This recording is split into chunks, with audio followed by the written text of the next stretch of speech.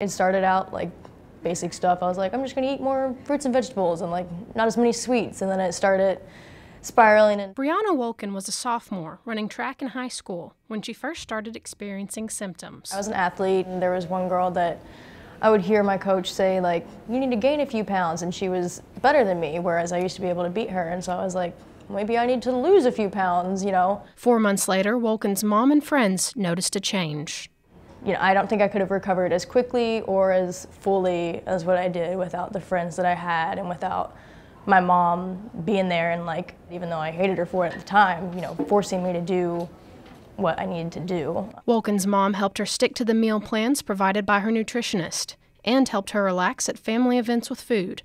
Wolken says she's also thankful for the support she got from her friends.